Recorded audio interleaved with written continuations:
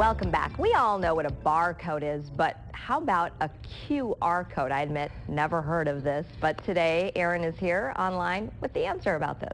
QR stands for Quick Response Code, and it's about to be the next big thing in advertising and information. It's already big in Japan, in fact. QR codes aren't scanned by the checkout person at a store. They are scanned by you with the help of your cell phone.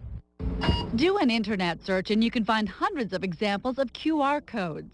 Unlike regular barcodes that you'll see on your Coke or your Pepsi can, we can only have like 10 to 12 characters. This can have upwards of a thousand characters. You see them online, on TV, and in store windows. Just read the QR code with your cell phone and it will take you to a website with more information. In fact, local digital expert Thomas Clifford says QR codes were in use at a recent emerging technology conference they had the QR codes right on their name badges. So you don't have to know, hey, I'm Erin Davisson, here's my business card. I'm Erin Davisson, take a picture of my take a picture of my QR code, then it automatically goes into your contacts book. You don't have to spend time retyping everything. And among their uses, QR codes can give new meaning to the idea of window shopping. If there's a style in the window that you really like, customers can shop directly from the barcode. So if it's after 6, you can shop without anybody and do it on your own.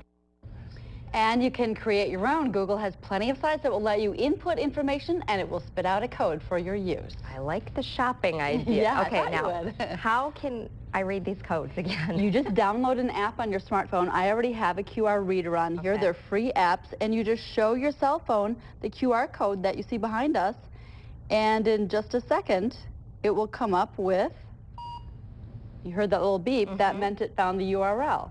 You just press it, and you can read the website right on your cell phone. Oh my goodness. What and now I that you know now. that they exist, you will see them everywhere. Okay, I'm looking for them now. Okay. All right, thanks a lot, Erin.